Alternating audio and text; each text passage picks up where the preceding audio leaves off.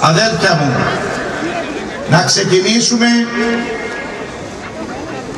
τη σημερινή λαοξύναξή μας με προσευχή. Να ψάλουμε όλοι μαζί το ευλογητός η Χριστέ ο Θεός ημών. Ευλογητός η Χριστέ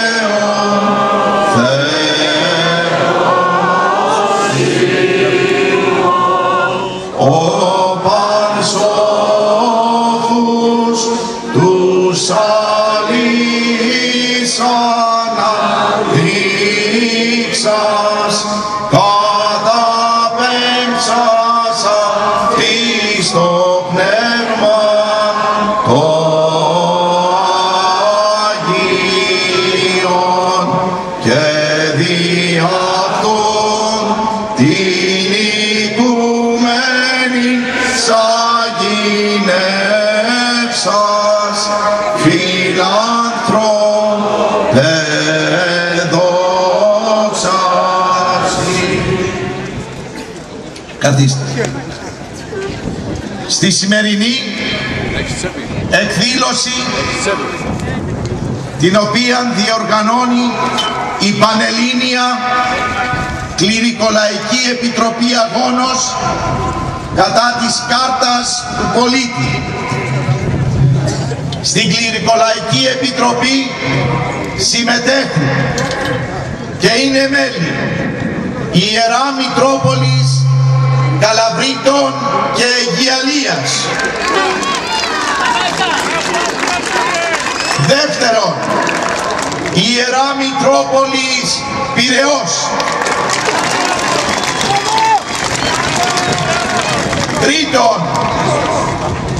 Ιερά Μητρόπολη Γόρτινος και Μεγαλοπόλεως. Τέταρτον, το Ινστιτούτο Καταναλωτών Ελλάδος. Το ΙΝΚΑ. Το κίνημα της χριστιανικής δημοκρατίας. Το Ορθόδοξο Παρατηρητήριο. Το Ελληνορθόδοξο Κίνημα Σωτηρίας. Ελκής. Η αδελφότητα Άγιος Αυγουστίνος.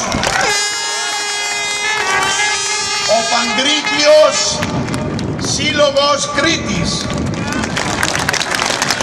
Η Ιερά Σύνοδος του Πατρίου Ερτολογίου υπό του Αρχιεπισκόπου Καλλινίκου και η Ιερά Σύνοδος του Πατρίου υπό του Αρχιεπισκόπου Μακαρίου.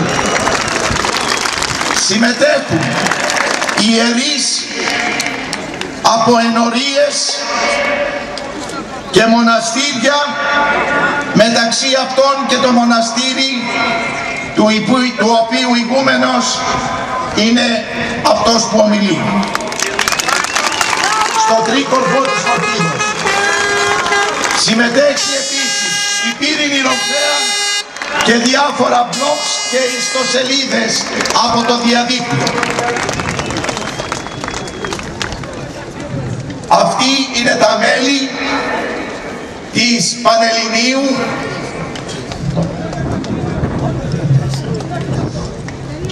Αυτό είναι, αυτά είναι τα μέλη της Πανελληνίου Επιτροπής. Σήμερα,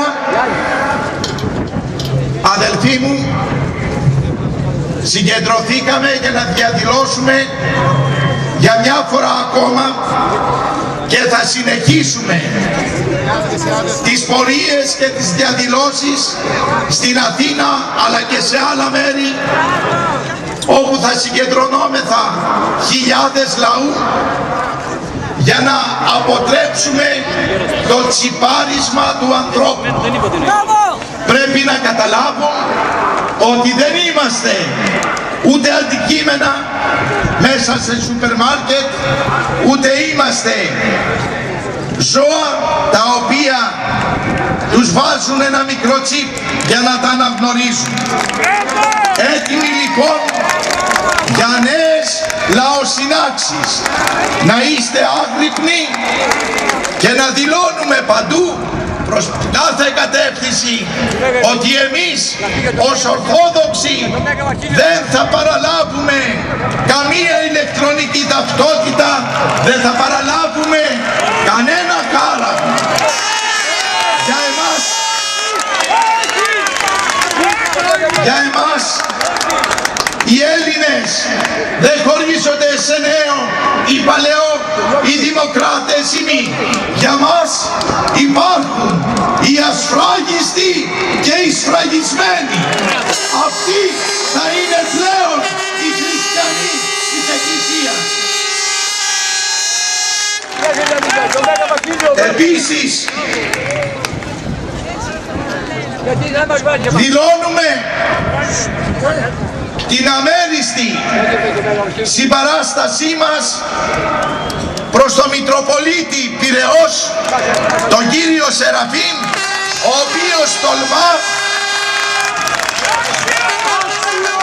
και λέει την αλήθεια προς όλο τον ελληνικό λαό χωρίς να φοβάται μήτε και τη ζωή του.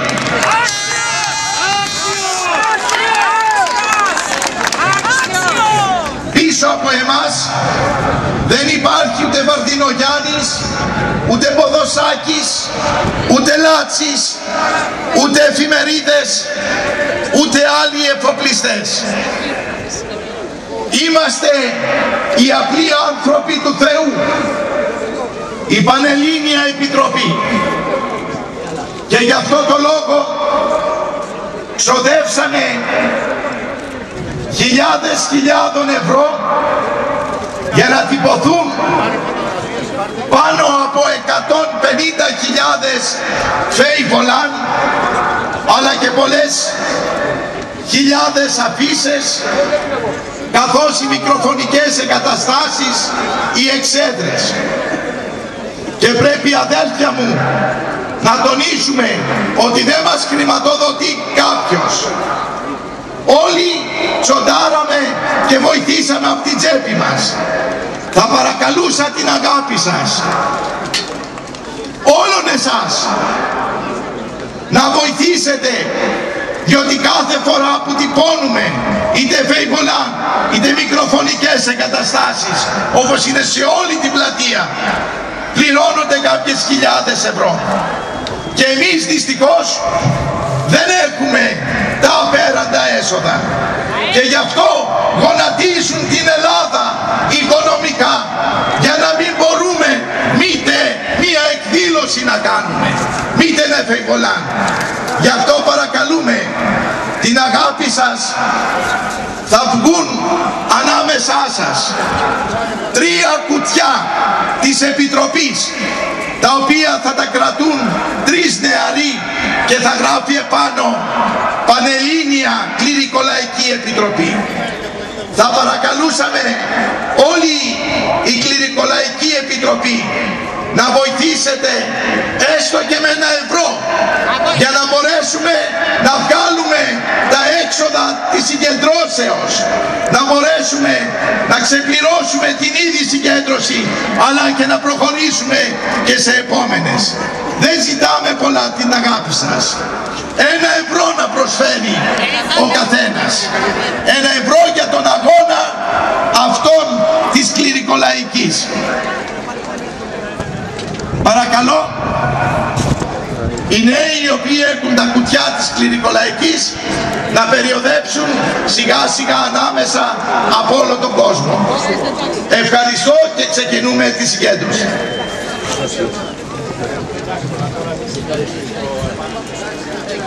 Ένα ευρώ μόνο, δώσε περισσότερα. Ζωή μας. Ε, ο πατέρας Δεκτάριος μίλησε για ένα ευρώ. Εγώ θα μιλήσω για το πυράκτομα της ψυχής μας. Εάν δεν πονέσουμε και δεν θυσιάσουμε, ο αγώνας δεν θα ήταν σήμερα αυτός που είναι. Τα 25 χρόνια με θυσία αγάπη και προσευχή εφτάσαμε στη σημερινή ευλογημένη κατάσταση να έχουμε ενώπιόν μας τον μακαριότατο, τους Αγίους Αρχιερείς, τον μαρτυρικό ηγούμενο της Ιεράς Μονής Εσχεμένου, τον Τίμιο Πρεσβυτέριο, τα μοναχικά τάγματα και όλη την δική σας αγάπη. Πραγματικά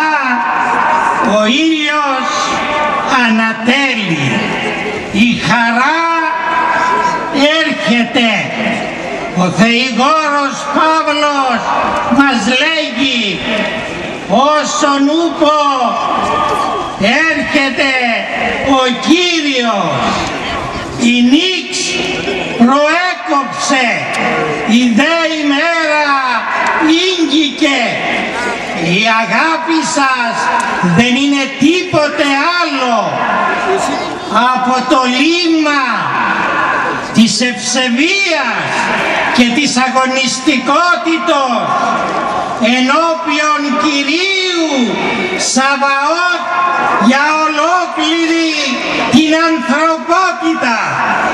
Θέλω να χαρούμε, θέλω να το νιώσουμε, θέλω αυτήν την ώρα να είναι η απαρχή για την μετέπειτα πορεία εν μετανία και εξομολογήσει στα γράμματα τα καινοτόμητα της Αγίας ημών Ορθοδοξίας.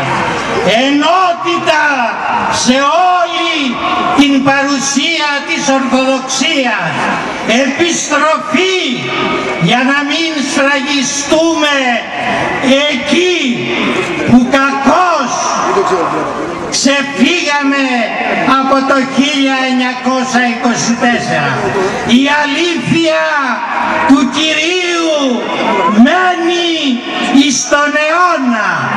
Δεν μπορούμε να πούμε τίποτε άλλο από τα λόγια της αληθείας. Το ελληνοορθόδοξο κίνημα σωτηρίας κάλεσε εκατοντάδες φορές τον λαό στην Αθήνα, στον Πειραιά, σε όλη την Αττική και σε όλη την Ελλάδα. Αυτό το σπέρμα σήμερα γίνεται καρποφορία. Αυτός ο αγώνας έχει ρίζες, τώρα έχει κορμό, ευωδιαστά λουλούδια και πανέμορφους και ολόχημους καρπούς. Δεν σταματάει εδώ. Σήμερα δικαιώνεται ο αγώνας. Σήμερα ξεκινάει ο αγώνας στην δύναμη που ο Ζωπιός Σταυρός και μόνο η χάρις του Παναγίου Πνεύματος μπορεί και πρέπει να τον οδηγήσει. Καλώς ήρθατε και αυτήν την ώρα ο μα ήρθε με την συνοδεία του και ο μακαριότατος Μακάριος και, και ευχόμεθα όλα αυτά σε λίγο να γίνουν μια φωνή ουρανού από την γη για την Ανάσταση και τη σωτηρία ολοκλήρου της ανθρωπότητος. Και τώρα ο πρώτος ομιλητής θα είναι από το Ίνκα, από το Ίδρυμα, από τον Ινστιτούτο Καταναλωτών. Είναι ο Χαράλαμπος Δελινταρά, Δελινταδάκης και είναι ειδικός επί των θεμάτων και ιδιαίτερα έχει ασχοληθεί σε συνδυασμό πατρίδα και ορθοδοξία. Υποδεκτείτε τον!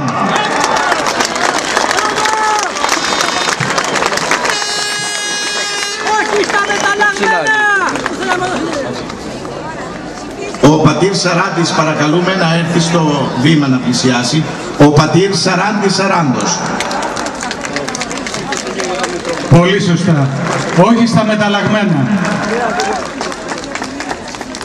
Στη σημερινή μας συγκέντρωση το ΙΝΚΑ λέει ένα ξεκάθαρο όχι στο ηλεκτρονικό φακέλωμα και στην αριθμοποίηση του ανθρωπίνου προσώπου στο ξεγύμνομα του πολίτη, στο τσιπάρισμα και στην εμφύτευση που σχεδιάζουν.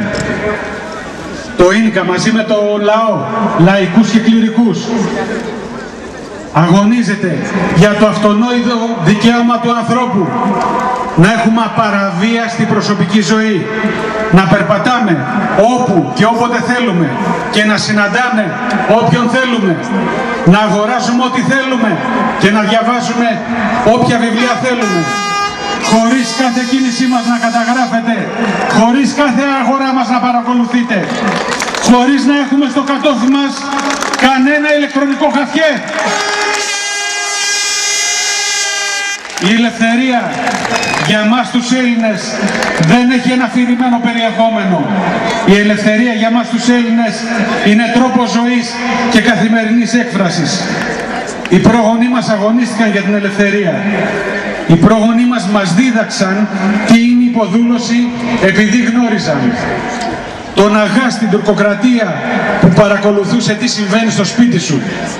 Το Blockmeister τον τετραγωνάρχη στην περίοδο του ναζισμού που επιτηρούσε την προσωπική ζωή του καθενός και τα πιστεύω του. Το δεσμοφύλακα στα στρατόπεδα συγκέντρωσης του Auschwitz και του Νταχάου όπου είχαν φυλακιστεί πολλοί Έλληνες πατριώτες. Σε αυτά τα στρατόπεδα ο κρατούμενος δεν είχε όνομα αλλά είχε ένα χαραγμένο αριθμό στο χέρι. Είχε ΕΚΑΜ στα στρατόπεδα του Auschwitz και του Νταχάου. Και τέλος οι προγονείς μας γνώριζαν και γνωρίζουν το χαφιέ της Χούντας που παρακολουθούσε κάθε πτυχή της ζωής μας. Είναι εντολή των προγόνων μας να μείνουν ως μελανή ιστορική μνήμη ο Αγάς, ο Τετραγωνάρχης, ο Δεσμοφύλακας και ο Χαφιές να μην αναβιώσουν με ηλεκτρονική μορφή. Να μην κάνουμε το χατήρι στη νέα τάξη, στην παγκοσμιοποίηση, στον εξυγχρονισμό, στις μεταρρυθμίσεις ή όπως αλλιώς ονομάζεται σήμερα ο φασισμός. Για μας τους Έλληνες η ελευθερία έχει επίσης ένα πρακτικό περιεχόμενο. Γνωρίζουμε αυτό που έγραψε ο μεγάλος μας ποιητής Κωστής Παλαμάς. Η προκοπή για τους ελεύθερους, για μας. Όταν είμαστε ελεύθεροι μπορούμε να υπερασπίσουμε τη χώρα μας, την περιουσία μας, τη ζωή μας, την υγεία μας από τα μεταλλαγμένα αν αναλογιστούμε πώς χάθηκε η μικρομεσαία ιδιοκτησία στην πρώτη κατοχή του 41-44. Και ο Κάλμος είπε δεν διαρρετήθηκε τόρμηνη ελευθερία. Όταν ο ελληνικός λαός ήταν υπόδουλος στη γερμανική πότα, οι ομοιότητες με τη σημερινή κατευθυνόμενη φτώχεια, υπερχρέωση και κατάσχεση της μικρομεσαίας ιδιοκτησίας δεν είναι καθόλου τυχαίες. Ας δούμε τα δίθεν επιχειρήματά τους. Μας λένε ότι αφού έχετε κινητά και τραπεζικές κάρτες, είναι το ίδιο με την κάρτα του πολίτη. Αυτό το επιχείρημα είναι κυριολεκτικά ανόητο. Το κινητό μου το χρησιμοποιώ αν θέλω, όποτε θέλω, όποτε κρίνω το απενεργοποιώ ή το αφήνω σπίτι μου. Το ίδιο και την τραπεζική μου κάρτα. Κανείς δεν υποχρεώνει να τα έχω συνέχεια μαζί μου. Ενώ η σχεδιαζόμενη κάρτα του πολίτη θα πρέπει να την έχω συνέχεια στο πορτοφόλι μου. Επιπλέον, η τηλεφωνική εταιρεία μπορεί να έχει πρόσβαση, δεν μπορεί να έχει πρόσβαση στις καταθέσεις μου, ούτε η τράπεζα στα τηλεφωνήματά μου. Τέλος, με το δικαιακό καθεστώς που ισχύει τώρα, το κράτος μόνο για σοβαρό λόγο και με δικαστική συνδρομή μπορεί να, πάει, να άρει το απόρριτο των καταθέσεων και των τηλεφωνημάτων μου. Η ουσία λοιπόν του ηλεκτρονικού φακελώματος, αγαπητοί φίλοι, είναι ότι σχεδιάζουν να καταργήσουν όλα τα απόρριτα, κάθε επαγγελματική δεοντολογία, κάθε επαγγελματική δεοντολογία για το πλήρες φακέλωμα και το ξεγύμνομα του ανθρώπου. Αν μας επιβάλλουν την κάρτα του πολίτη, το τσιπάρισμα θα είναι γεγονός και η εμφύτευση θα είναι μόνο θέμα χρόνου. Μας λένε ότι το ηλεκτρονικό φακέλωμα, ΕΚΑΜ, κάρτα του πολίτη, κάρτα του εργαζόμενου, ηλεκτρονική συνταγογράφηση, ηλεκτρονική διακυβέρνηση κτλ. είναι το αναπότρεπτο αποτέλεσμα της επιστημονικής πρόοδου. Τους απαντάμε, εμείς την πρόοδο τη βλέπουμε όπου υπάρχει ελευθερία, προκοπή και ευημερία. Εμείς την επιστήμη τη θέλουμε στην υπηρεσία του ανθρώπου και των αναγκών του. Εμείς την επιστήμη δεν τη θέλουμε στην υπηρεσία εκείνων των δυνάμεων που απεργάζονται την εκμετάλλευση και την υποδούλωση του ανθρώπου. Αντίθετα, η πρόοδος της πληροφορικής και των ηλεκτρονικών υπολογιστών καθιστά άχρηστη την αριθμοποίηση του ανθρώπου. Με την πρόοδο της πληροφορικής η κάρτα του πολίτη είναι άχρηστη. Επιπλέον, το ηλεκτρονικό φακέλωμα όπου προσπαθούν να εφαρμόσουν έχει δημιουργήσει τεράστια κόστη και έξοδα που εισπράττουν εις βάρος του λαού που περνάει φοβερή περίοδο φτώχειας επί δέξια αεριτζίδες. Μας λένε ότι με το ηλεκτρονικό φακέλωμα θα παταχθεί η φοροδιαφυγή και διαφθορά γενικότερα. Εδώ τους χρειάζεται ένας καλός καθρέφτης για να δουν τους διεφθαρμένους. Και αν δεν τους φτάνει, να ψάξουν στον τύπο και στο διαδίκτυο. Και αν δεν μπορέσουν, θα τους θυμίσουμε εμείς τα γεγονότα. Ποιοι είναι οι μεγαλοφιλέτες; θα τους θυμίσουμε εμείς τις χαριστικές συμβάσεις και τους μεγαλοφιλέτες του δημοσίου κατηγορούν τον ελληνικό λαό ότι είναι δίθεν διεφθαρμένος. Το ίδιο λένε και στον Ιρλανδικό λαό. Λένε στον ελληνικό λαό μαζί τα φάγαμε τα λεφτά. Και στο Ιρλανδικό λαό όλοι συμμετείχαμε στο πάρτι. Κοίτα ποιοι τα λένε. Κοίτα ποιον κοινών υποβολέα έχουν. Που δεν είναι ούτε Έλληνας ούτε Ιρλανδός. Δεν χρειάζεται καμιά κάρτα πολίτη. Κάρτα ήθους και πατριωτισμού της πολιτικής ηγεσίας που κυβερνά χρειάζεται. Το άλλο επιχείρημα είναι ότι το μέτρο της κάρτας του πολίτη είναι ευρωπαϊκό. Εδώ χρειάζεται μια καλή απάντηση γιατί δεν τους χαρίζουμε την Ευρώπη. Δεν ανήκει η Ελλάδα στην Ευρώπη, η Ευρώπη ανήκει στην Ελλάδα. Η Ευρώπη απελευθέρωσε την Ελλάδα. Η Ελλάδα απελευθέρωσε την Ευρώπη.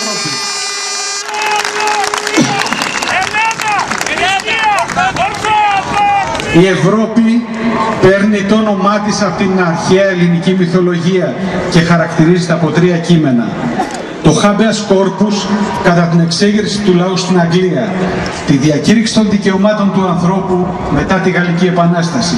Και το τρίτο, το πιο ολοκληρωμένο, το πιο πλήρες, είναι το ελληνικό σύνταγμα της Επιδαύρου, κατά την εθνική μας παλιγενεσία, μετά την Επανάσταση του 1821, που διέλυσε τη ανίερη συμμαχία του Μέτερνη. Αυτή η Επανάσταση που απελευθέρωσε όλα τα έθνη και τους λαούς της Ευρώπης.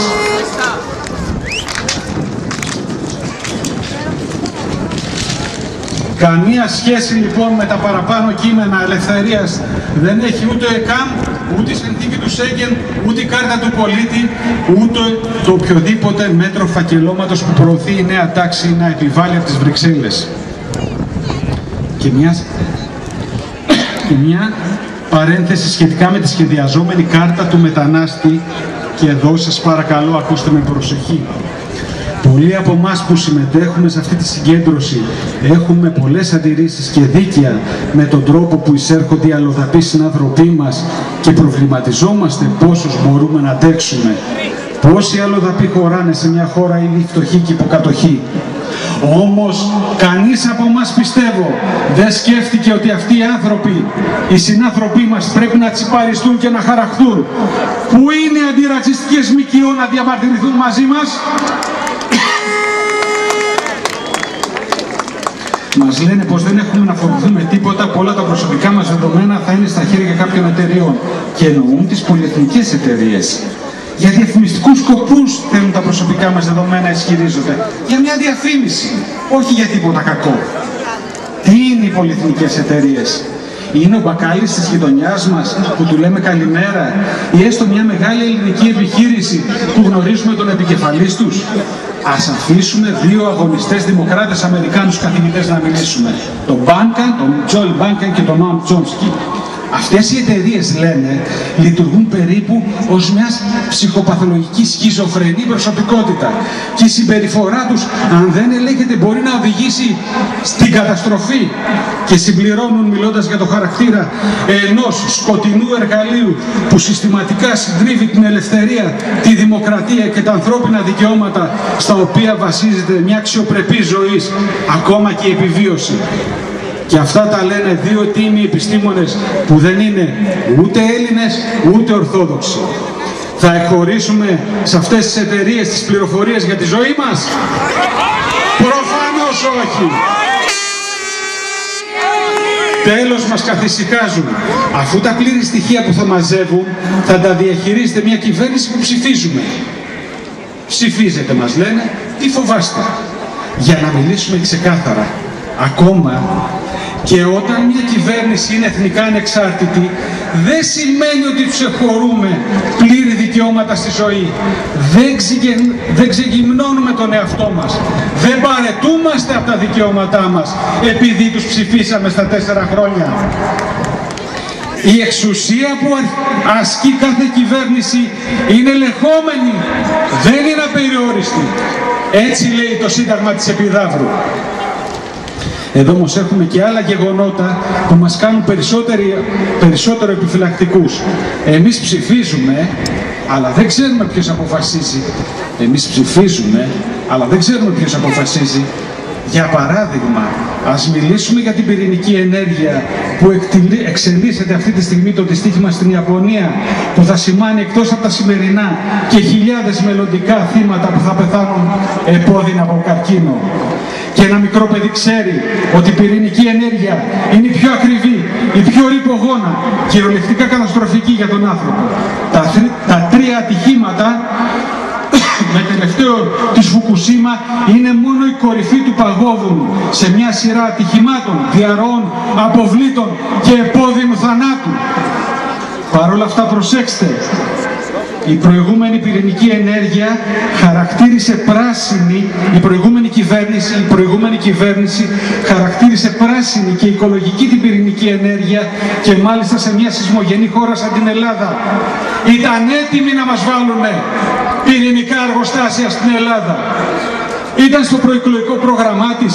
Ψήφισε κανείς από εμάς την πράσινη οικολογική πυρηνική ενέργεια. Δεχτήκαμε πυρηνικά εργοστάσια στη χώρα μας.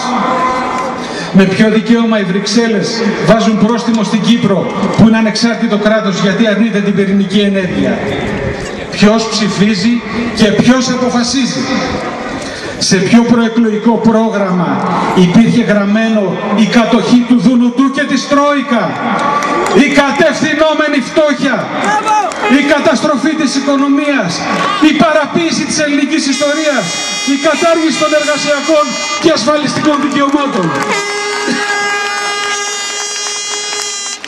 Σε ποιο προεκλογικό πρόγραμμα υπήρχε γραμμένο το ηλεκτρονικό φακέλωμα και η κάρτα του πολίτη.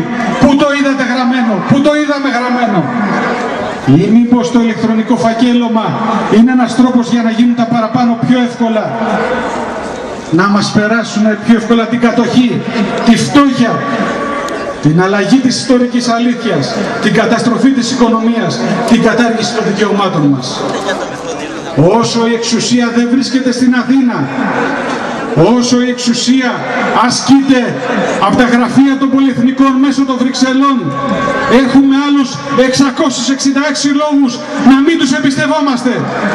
Να κρατάμε, να κρατάμε ό,τι υλικό και ηθικό έχει αξία να προστατεύουμε τη γη μας, την περιουσία μας, τα θρησκευτικά μας πιστεύω, το πολιτισμό, τη γλώσσα μας, την πολιτική μας ιδεολογία και πάνω απ' όλα την ιστορική μας μνήμη και τον εθνικό μας αυτοσεβασμό.